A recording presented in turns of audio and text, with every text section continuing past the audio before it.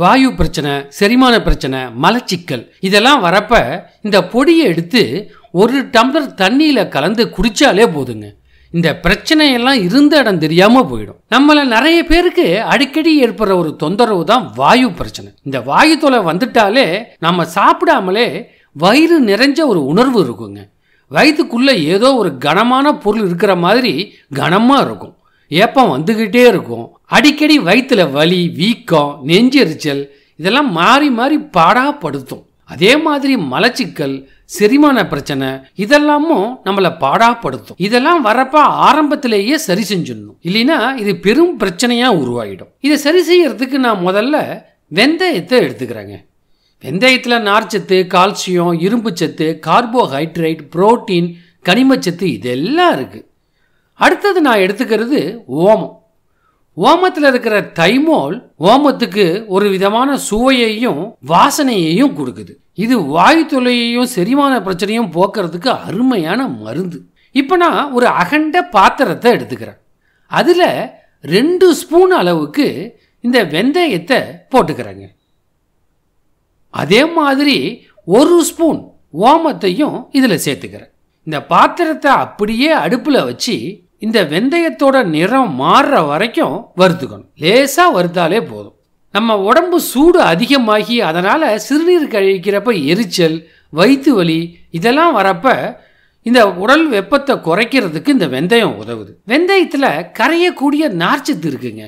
இது நாள்பட்ட மலச்சிக்கல் வாயு பிரச்சனை இது எல்லாத்தையும் போக்கும். செரிமான பிரச்சனையையும் சரி பண்ணும். உடம்புல ரத்த ஓட்டத்தை மேம்படுத்தும்.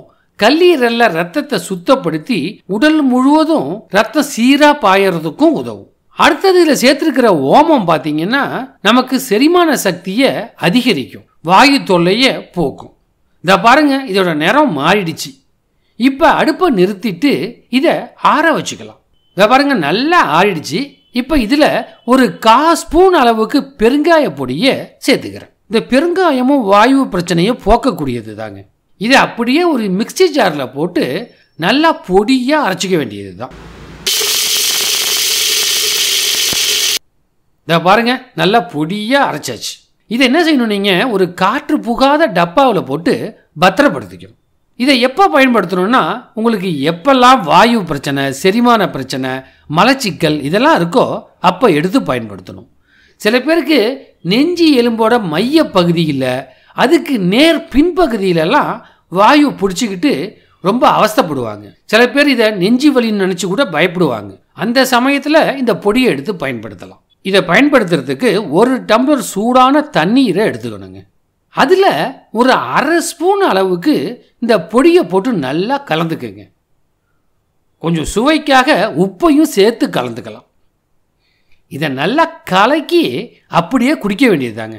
இது சுவையாலாம் இருக்காது. கொஞ்சம் கசப்பாக தான் இருக்கும். பொதுவாக நம்ம எண்ணெயில் பொறிக்கப்பட்ட உணவுகளையோ இல்லை அளவுக்கு அதிகமான உணவுகளையோ சாப்பிட்றப்ப அந்த நேரத்தில் இந்த பொடியை கலந்து குடிச்சிட்டிங்கன்னு வச்சுங்க உங்களுக்கு வாயு பிரச்சனை செரிமான பிரச்சனை மலச்சிக்கல் பிரச்சனை எதுவும் வராது. இதை சாப்பாட்டுக்கு முன்னாடி பின்னாடி எப்போ வேணாலும் நீங்கள் தண்ணீரில் கலந்து குடிக்கலாம். ஒருவேளை இதை கலந்து குடித்தாலே போதுங்க. உடனடி பலனை நீங்கள் எதிர்பார்க்க முடியும். நீங்கள் சைவம் சமைக்கிறப்ப வாயு தரக்கூடிய வாழைக்காய் கொண்டக்கடலை பட்டாணி முட்டைக்கோஸ் இதெல்லாம் சமைக்கிறப்ப கொஞ்சம் பெருங்காய பொடியை அதில் கலந்து பயன்படுத்தணும். அப்படி பயன்படுத்துகிறப்ப வாயு செரிமானம் மலச்சிக்கல் இதை மாதிரியான பிரச்சனைகள்லாம் வராது. இந்த காணொலி உங்களுக்கு பிடிச்சிருந்ததுன்னா உங்கள் விருப்பத்தை தெரிவிங்க. உங்கள் நண்பர்களுக்கும் இந்த காணொலியை பகிருங்க. உங்கள் கருத்துக்களை கீழே பதிவிடுங்க.